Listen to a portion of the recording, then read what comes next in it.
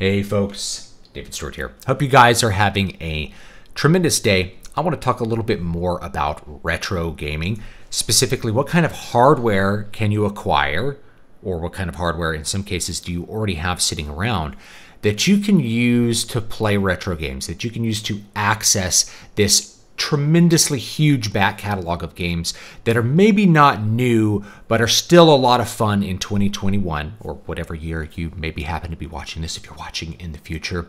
In some cases, these games have held up not just for years, but for decades and are still really fun to play. And I think in a lot of cases are more fun than modern games. So Hardware. The first one I'm going to mention is actually original hardware. This is a Model 2 Sega Genesis, otherwise known as the Mega Drive, depending on what region you grew up in.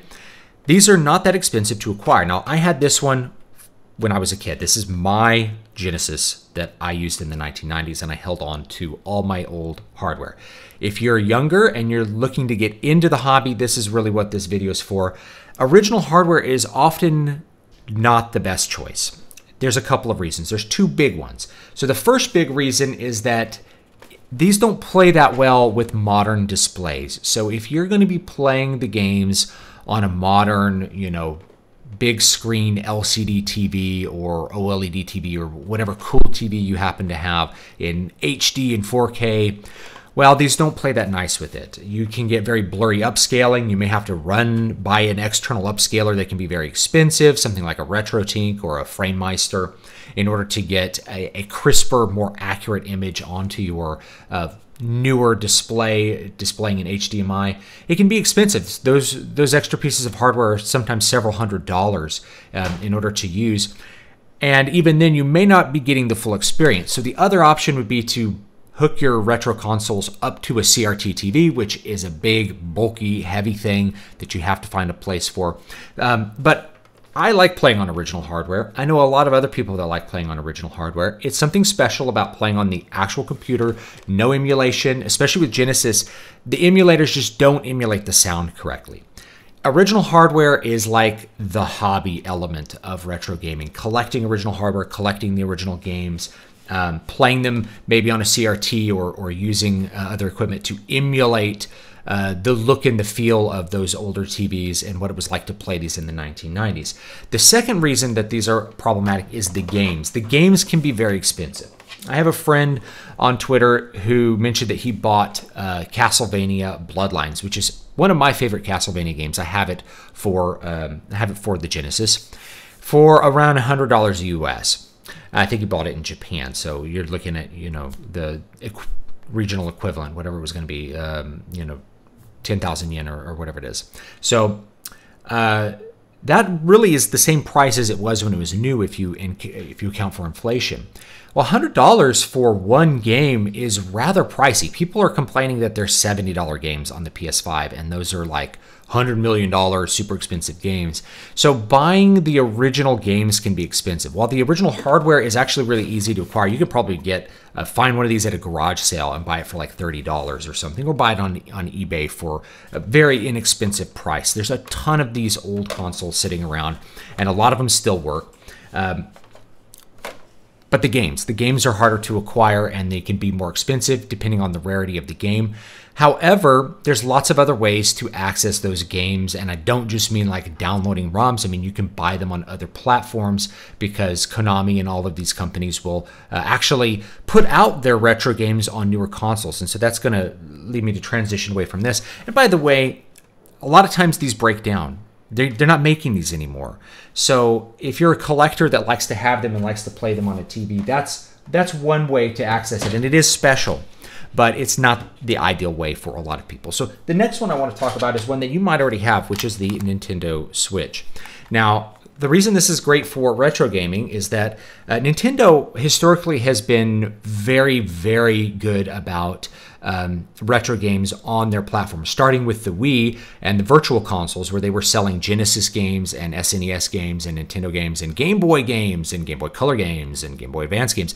They were selling all of these uh, past system games on the Wii, and you could buy them and download them and play them on your um, on your TV. In a lot of cases, you were playing them on a CRT because the Wii was really at the very end of the CRT era.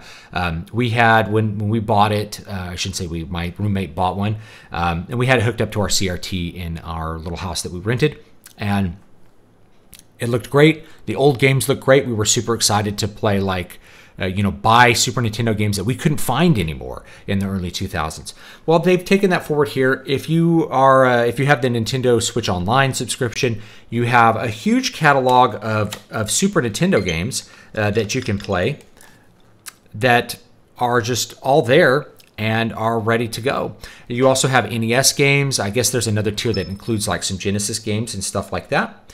Um, and you can even play them with a nice little CRT filter. They look really good on, on the screen and they look really good on the TV as well. It's already been managed for you. You don't have to do any kind of work like what I'm going to talk about with some of the later systems. So if you have a Nintendo Switch, it's a great way to access a ton of retro games. Other companies will also put out their retro games on the Nintendo Switch. You can get all the original Dragon Quest games for the Nintendo Switch. You can get um, the Mega Man games. There's Mega Man Collection, so you can get the 8-bit and 16-bit, in some cases 32-bit Mega Man games. Um, there's just a huge number of games available for the Switch that haven't been available for other platforms before. And I know that a lot of companies, when they're looking to port their back catalog, they're looking at the Switch. Huge installed user base, which means a lot of opportunity to sell your back catalog of games. So if you're looking to acquire older retro games legally and everything, the Nintendo Switch is actually a really good option. You might already have one. You may just not have thought about looking through all those back catalogs of games and finding something that you really want uh, want to play. So really, really good option actually is the Nintendo Switch. And, and you can see I'm using some aftermarket uh, Joy-Con additions there because I like big buttons that feel good. Okay. Uh, next one, we're going to be moving into a little bit more, you know, obscure, going to have to do a little bit more work. The next one is actually a phone, which you probably already have. And if you have a Samsung phone, which this is, Samsung, you can tell I like blue phones. You might have an old phone sitting around. And uh, if it has a USB-C port and can output video over that USB-C port, you can actually hook that phone up to a TV with a Nintendo Switch dock. You can buy a Nintendo Switch dock, an aftermarket one will work fine, or any kind of, uh, I have one right here, any kind of like USB-C um, to HDMI thing that has also has a charger in. This will work for your Samsung phone or for any phone that has that, that video over, over USB-C to hook it up to your TV. And then of course you can pair it with uh, any controller, you can use a, a, Bluetooth, you know, Bluetooth Xbox controller. You can play it like that. If you want to go portable, you plug it in your TV and use it as a wireless controller. You can install RetroArch on an Android device. I haven't messed around with iOS, but some of this will apply to iOS. Just keep that in mind.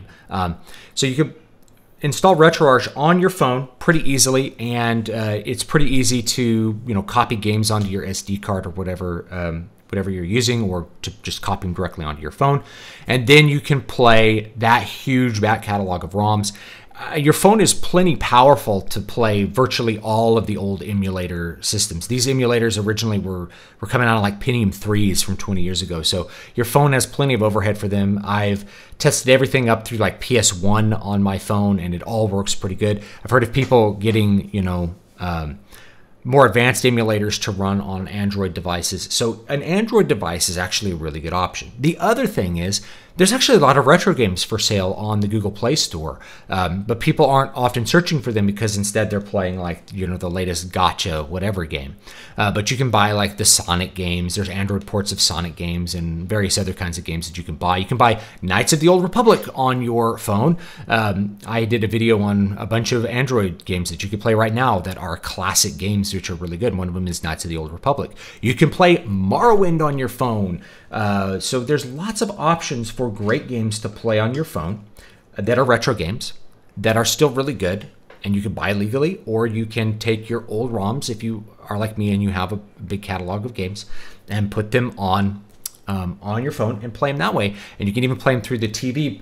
Uh, there's even a, a, desktop mode on Android devices, uh, at least on um, Samsung devices called DeX, Samsung DeX, that is like a desktop environment. Makes it really easy to do all of this stuff and run it in full screen. Um, so that's a, an option that you may already have, like a, an extra phone sitting in a, in a drawer. Maybe you've upgraded to like the newest, fanciest phone and you have an older phone sitting around. Well, you can just use that. You can set it up specifically for uh, playing retro games and just enjoy it. You know, I've, I've thought about kind of stripping this phone down and, and just setting that up with some games to, you know, that way I could like hand it to my son or whatever. If he wants to play some Mario games, he could play that uh, on the phone. It's actually a really good option. And paired with a controller, it can be very portable. Not as portable as what I'm going to talk about next, but uh, still very, very portable. So um, the next option that I'll talk about, actually, I'll talk about portable stuff next, is mini console. This is hardly a mini console, right? Seen this sitting in the back. So this is the Neo Geo Arcade Stick Pro. To me, it's in the it's in the catalog of all-in-one mini consoles that have been coming out over the last couple years. Uh, there was the NES Mini, which was hard to acquire. There was the SNES Mini, which was also hard to acquire because Nintendo was like, we're only going to make them for one year. Um, which makes them, you know, they're, they're, still around. You can still get them. Uh, but for the price that you're usually buying these for, which is often about $100 US, you actually get a lot. So, first of all, you get uh, a piece of hardware. It comes installed with all the games that, you know, you basically legally own those games at that point because it comes with them and you can hack them to really open up their potential and install more stuff on them if you want. Now, I like this one, the Neo Geo, for a bunch of reasons. So, first of all, got that clicky stick, and it has arcade style buttons. Now, these are not the same, quite the same as the buttons from the arcade cabinets, the SNK cabinets, but you can switch these out. Like uh, new buttons are like often just five dollars a piece. So if you wanted to switch out some of the buttons or all of them, uh, you could and you can even switch out the the stick here or even the switches but um, I like it pretty much stock I think it, it it emulates the arcade experience enough you can plug it into a TV and what's great about this guy is that it's also a controller so I can plug it into my PC which is another thing that you could play retro games on you're watching it right now as your PC um, you can plug it into I have a, a thing called a game link I can plug it into my Nintendo Switch play like I have the Street Fighter arcade collection, so I could play it with an arcade stick. Feels great. Or I can plug it into uh, my PlayStation and use it that way, it, and it's very compatible uh, actually um, when you use that game link. And it even has extra controller slots. If you get those Neo Geo controllers, you can play two or three players, which I've done with my uh, with my son plenty of times. I've had a ton of fun with this retro console, and uh, it's been just a, a, really good buy. And you can also run a number of hacks for this one. Same thing with like the, the PS1 Classic, the NES Classic, the Genesis Classic, these classic mini consoles. Um, you can run hacks on them because they're, you know, a lot of cases they're just like a like a Raspberry Pi. You know, it's it's pretty simple, and and there's guys out there who love to tinker with this stuff. So you can, in some cases, just download a hack. You don't have to do really any work, and then you can open up the system and install more emulators on it, install more games. I have a MAME emulator on this in case I want to play an arcade game or something like that. And of course, it comes with a ton of original SNK arcade games, so it, it's a great way to emulate that experience. And I love to buy this because going back to the original hardware thing Neo Geo is still very expensive. When I was a kid, Neo Geo was like the most expensive thing ever. If you had a Neo Geo, you were pretty much the coolest kid in school because it was like a $600 system or something. It was ridiculous. And it had these big joystick controllers, and the games were $100 a piece back in the 1990s. And they haven't gotten cheaper. So you can get an AES, you're still going to pay a lot of money for a good, a good condition AES, Advanced Entertainment System and then to buy the controllers with clicky sticks that aren't worn out, with the buttons that haven't been destroyed. Then you're paying $100, $200, sometimes multiple hundreds of dollars for the, the giant cartridges that went in that. Because what it basically was was an arcade board that they just put into a little case and put a video out on it, you know. Oh, hook that up to your TV. And it was, it was like an arcade experience. So my favorite in Neo Geo games, um, I could play on this, like all the Metal Slug games, those kinds of things. Um, so I really loved being able to play this and like go back and actually have access to those great arcade games, have access to those AES games, which to buy on original hardware is ridiculously expensive. It's not, it's really for somebody who has a collecting hobby that wants to collect AES games because they can be very expensive, particularly if you're trying to get them like, you know, complete in box or something like that. We've had a big upsurge in the cost of uh, original hardware games for retro consoles. I don't see I see that coming back at a certain point, like coming back down. But this is a really good option for somebody who doesn't want to spend hundreds and hundreds of dollars to access uh, Neo Geo games. So mini consoles are a great one, and especially when you hack them and you open them up, boy, you can do a whole lot with them. That's really going to bring me to uh, the next area of things that I want to talk about, which is older consoles, which you can still acquire and acquire fairly cheaply which you can then hack if you want to unlock the full potential and uh, increase their access to games. So the first one I'll really talk about, I didn't feel like bringing the whole thing in, PS3. Um, specifically the PS3 FAT model.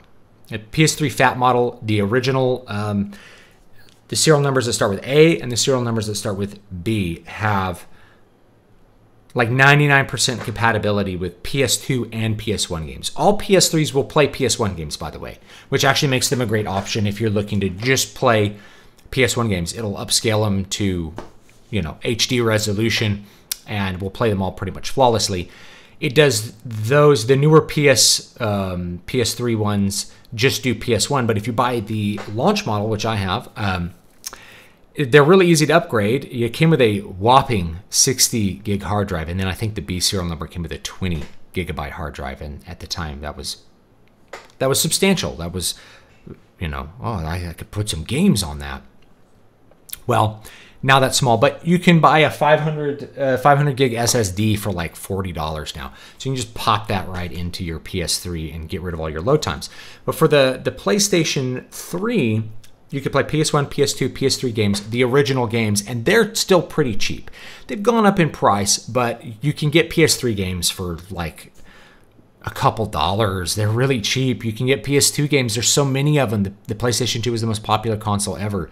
So there's tons of games around. You can buy them off eBay. You can buy them at garage sales and, and throw them in your PS3 and play them and PS1 games. And if you hack your PS3, you can put, RetroArch, which is um, a big front end for a bunch of different em emulators. You can put that on your PS3.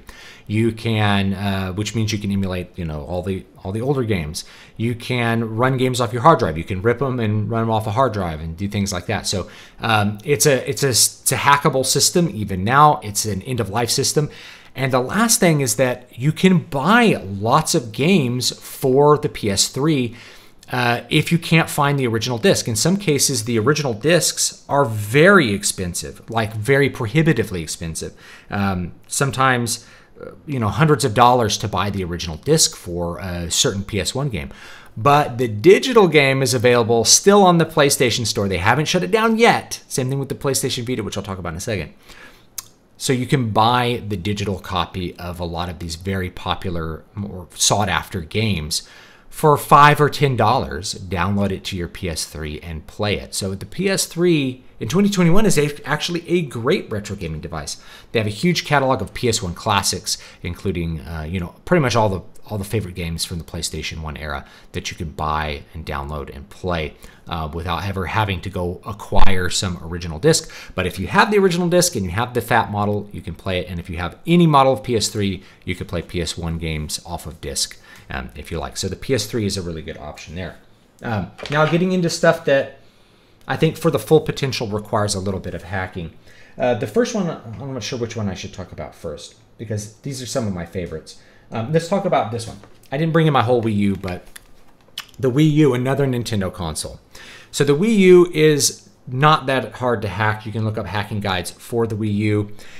It's a great system. It's one of my favorites. Um, and there's still a ton of virtual console games available for the Wii U that uh, you can get. So there's a lot of stuff that you can still buy for the Wii U. The shop is still open as far as I know. Um, it's not that hard to hack the Wii U and put RetroArch or a variety of, of other emulators on it um, to run your older games.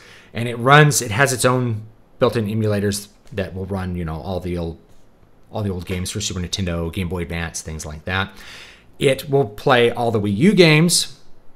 It will play all the um, Wii games. So if you get those discs, it'll just play those. Uh, Wii U games, a lot of them are available for Switch. So, you know, if you have a Wii U, you can get them usually cheaper for the Wii U. Wii U games are very cheap. Uh, Wii games are very cheap because there were so many of them made.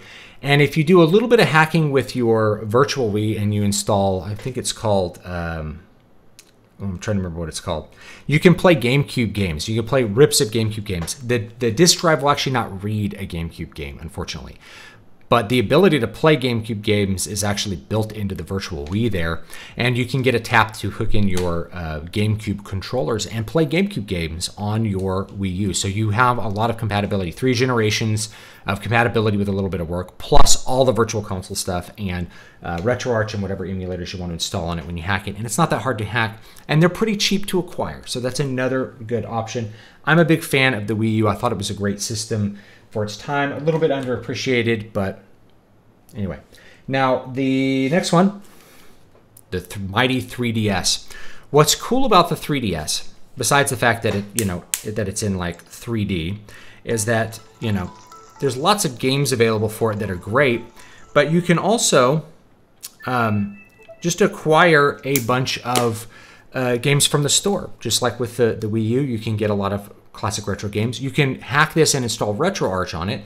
Um, I hacked it in a lot of cases to rip my games to the SD card that's on here uh, because my son was like losing the 3DS games, and I have a big collection of 3DS games. Um, you can also run a flash cart and play a huge number of uh, back catalog of games just using a flash cart, using an R4 flash cart, which was compatible with the, I think I have it here, which was compatible with the DS, the original DS. So this is all, you can get these really cheap as well. If you run an R4 flash cart, you can play just a bunch of DS games, but you can also play your Super Nintendo games, etc., etc. on that. It doesn't run quite as smooth as uh, as it probably would with the the 3DS. The 3DS has built-in SNES emulation. It has uh, it will run the DS games, which is a huge catalog natively. It'll run 3DS games. You can hack it and install RetroArch, and it'll run uh, a wide variety of emulators, particularly 16-bit and 8-bit emulators, um, which gives you access to a lot of those games on the go in a portable format that is very well protected. And fit, this is an XL, but it still fits in my pocket pretty nicely. Um, and if I put that, if I put an R4 cartridge in it, um, which basically is like an Evercart for the DS, uh, then I have access to like all of my DS games, which is another big collection I have that I could just use on the go. Now, the last one I'll talk about is probably my favorite of everything we talked about. You guys probably saw this one coming, which is the PlayStation Vita. To me, this is like the best piece of hardware for retro gaming, really, that I've ever had. Uh, and each month that passes, since they really since they discontinued this, I've loved this console more and more. This is not an original launch model, but you can get an OLED model. You can buy them from Japan between one and two hundred dollars, which is um, a little bit pricey maybe for a lot of people. But if you think about what you're getting for it with an OLED screen, I might still buy an OLED because I just love the screens on them. They're beautiful. Um, and all of the unlockable options. It's not that hard to hack these. This one's a hacked one. And it really opens up the potential of what you have with your console. Um, so, you know, here's Final Fantasy VI, which I've been playing on stream, and it looks great on the Vita. It plays great. Um, it sounds pretty good generally. Um, that's running through RetroArch. But you have full compatibility with the PS Vita for all PS Vita games. You have all PSP games. Uh, now you have to use digital versions of them, which means you have to buy them from the store or have you know a rip of them, a backup of them somehow. It will run uh, pretty much not 100% of PS1 games, but really high compatibility with PS1 games. Pretty much my entire catalog of PS1 games will run on this. Yes, you have to um, you have to rip them. You have to have a hack Vita to run Adrenaline, but you can run all your PS1 games. Um, that way, it's a couple of extra steps to to basically create this package that will run on here. But it runs the entire catalog of PS1 games. So on the go, you have PS1, PSP, PS Vita, plus all the games supported by RetroArch. Plus, this was from the era when Sony, like with the PS3, was very into backward compatibility and releasing back catalogs of games. So there's a large number of PS2 games that are ported to this you can buy, um, like different, you know, God of War this and and uh, there's an Uncharted game for the PS Vita. So there's a lot of stuff that's been ported that we would now consider a retro or classic game that you could play on the PS Vita and you can still buy um, off of their store. There's a lot of games that have been kind of trapped on the PS Vita that have been slowly working their way um, onto other platforms over the years, but there's still a lot of good stuff available for the PS Vita that you can buy. The sticks work well, everything on it works really good. It's really held up to a ton of play for me. I've been playing it uh, a lot over the last however many years that I've had it, and it's really held up. And I may get a second one just to, like, if the hardware starts to die on this one, I'll hack that one, I'll set that one up, get an OLED going with that one, and continue to use that one. So this one to me is like my ultimate retro gaming device. It has uh, pretty much all the good games that I want to play from PS1, PS2, PS3, Super Nintendo. It can just do everything. It's just a fantastic system, and it comes in this great form factor. Now you can get a phone. There are they do make phones that come in a, in a form factor like this, uh, but it's just so such a good form factor. It fits in your pocket. You put it in your jacket pocket. Uh, unlike the, this is technically portable. I'd have to be, I'd have to have quite a, I'd have to be wearing those like JNCO jeans to put that in my pocket, you know, those, those jeans from the 90s. So that's, you know, the ultimate. And the last one I'll mention is possibly what you're watching this video on, which is your PC. PC obviously can run pretty much any emulator, and the most advanced emulators are going to run on PC, including ones that will emulate GameCube, PlayStation 2, PlayStation 3 emulation, things like that. Um, and of course, it'll work with a wide variety of uh, controllers. I even plug my original SNES controller into, I have a little adapter, a little USB adapter. I can plug it in and I can play with my original SNES controller. I can play with this controller on my PC.